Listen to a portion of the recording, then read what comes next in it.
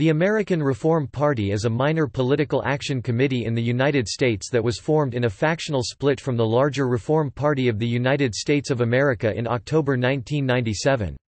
The split occurred when some members of the Reform Party, believing that party founder Ross Perot had rigged the party's 1996 presidential nomination for himself, walked out of the National Convention.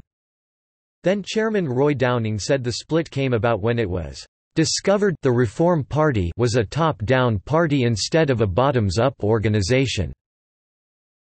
Although members of the group attempted to persuade former Colorado Governor Dick Lamm, Perot's chief rival for the nomination, to run for president as an independent, he declined, pointing out that he had promised before running that he would not challenge the party's decision.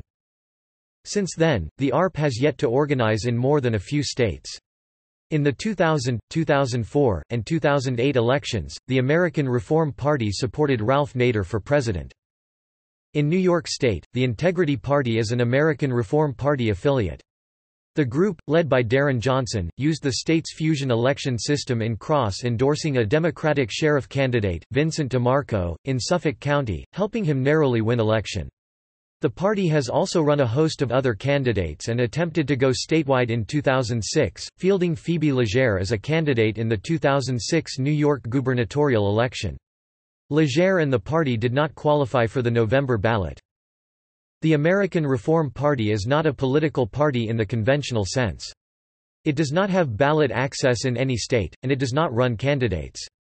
It supports third-party candidates and independents who support the primary principles of the party's platform.